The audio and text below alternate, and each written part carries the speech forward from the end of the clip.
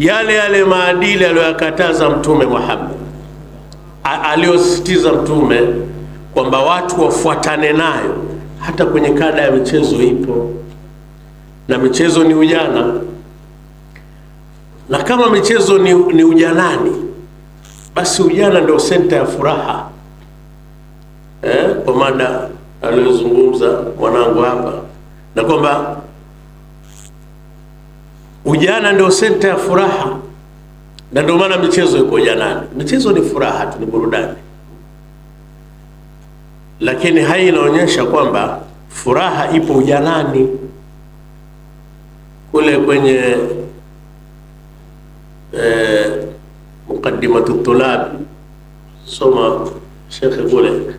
Mukaddimatu tulabi, wakati tunasomeshwa raha ile ya Sheikh Muhammad Ayubu rahmatullah alayhi kuna ile maneno aliyeweka mazuri, laita shababa yaudu yauman fa ukhbirahu bima faala almashib. ili bila shaka ni bima faala nil mashib eh? kuna ijazo hadhi eh? Natamani ujana ungerudi siku moja tu, nikaupa habari vile ulivyonifanya uzee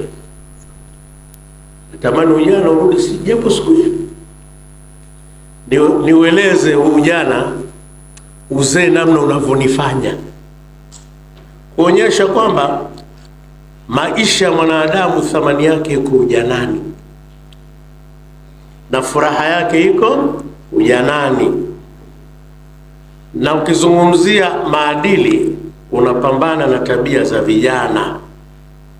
Kwa hiyo umri haswa thamani yake ni ujanani.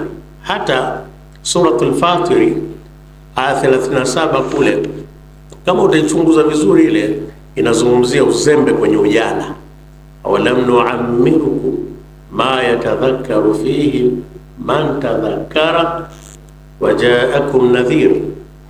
Hivi sikukupeni umri nyinyi, watu wakiingizwa motoni, wakati wanalalamika kuingizwa motoni waombe Mwenyezi Mungu kwamba awarudishe katika dunia. Mwenyezi Mungu atawaambia si yakupeni nyinyi umri ambao yatadhakaru fihi, yatadhakaru fihi man tadhakar, anakumbuka ndani ya umri huo mwenye kutaka kukumbuka, kifanya tadhakari ya talab. Kwa hiyo hapa kuonyesha kwamba ujana ndio nyenzo kubwa, lakini la mwisho Ukikumbuka Imamu Shafi rahmatullahi alayhi, Imamu Shafi alipopelekwa na mama yake kwenda kusoma kwa Imamu Malik, ika akaulizwa maswali chungu zima na Imamu Malik, kila anachoulizwa anajibu tu, na ni mtoto mdogo. Alimwambia kitu ambacho kitamfaa ujanani, ile mada ujana kimwambia inna llaha alqa fi qalbika nurun fala tudfiuhu bimasiyati llah, hakika Mwenyezi Mungu ameiweka katika moyo wako nuru maalum, wewe mtoto wewe, usije ukaizima kwa kumwasi Mwenyezi Mungu. Kwa hiyo hapa nikizungumza hivi ni ile pointi aliyozungumza mzee Ali Mayai mkurugenzi Captain aliwayai kwamba Afrika kuna vipaji vingi sana vya wanamichezo, wana vipaji sana kwenye michezo Afrika ukilinganisha na nchi nyingine. Pale nikapata jawabu, kwa nini tunakuwa mwisho sasa kwenye michezo? Ni kwa sababu kipaji ni nuru tunakizima kwa kukosa maadili. Hatuna maadili. Kwa hiyo maadili ni kila kitu. Tunapomwadhimisha Mtume sallallahu alaihi wasallam kwa njia hii ya kushirikisha kada zote za kijamii, ni fursa, ni kumpa fursa mtu ambaye alikuwa hajaipata fursa hii.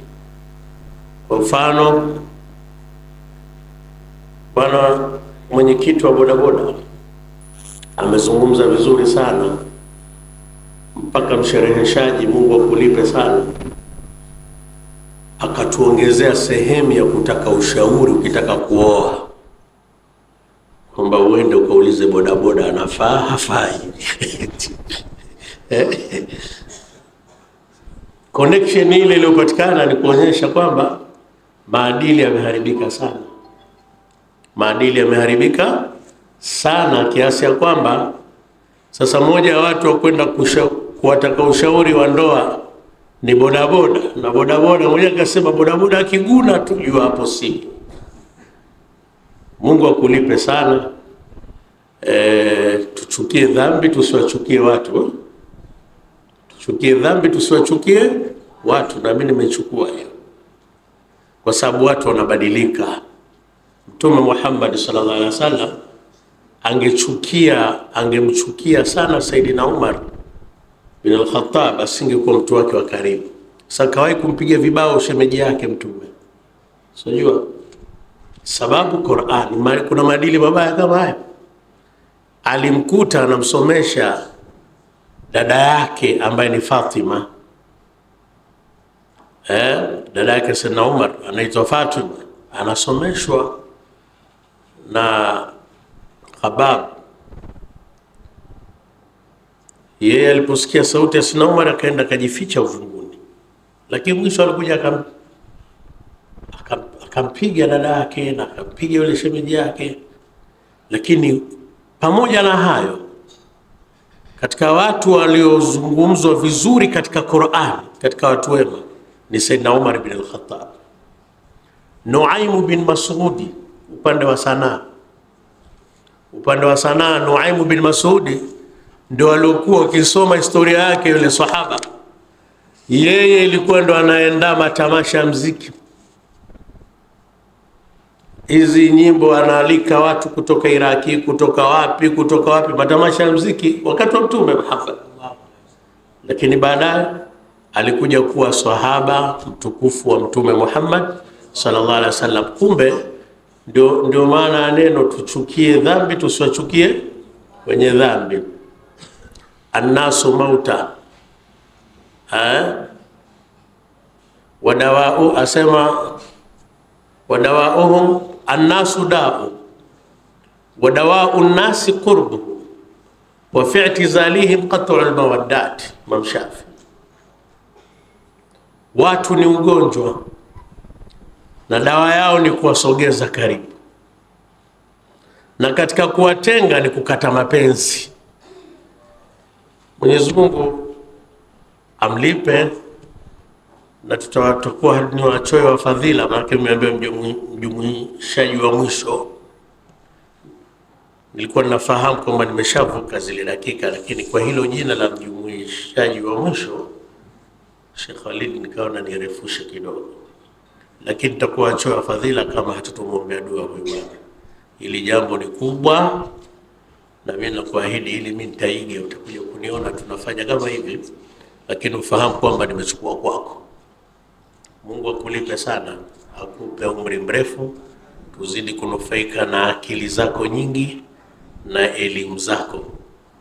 Mungu akutwalishe umri wenye kheri na jopo la la, na, na ulama wa mkoa. Nafahamu kazi yote hii mmeifanya kwa pamoja, imeshirikiana kwa pamoja na watendaji wote, akiwemo rafiki yangu sana kipenzi, shekhe wa wilaya yangu, shekhe wa wilaya Kinondoni. Mungu akulipe, Mungu awabarikie sana kwa pamoja. Wassalamu alaikum warahmatullahi wabarakatuh.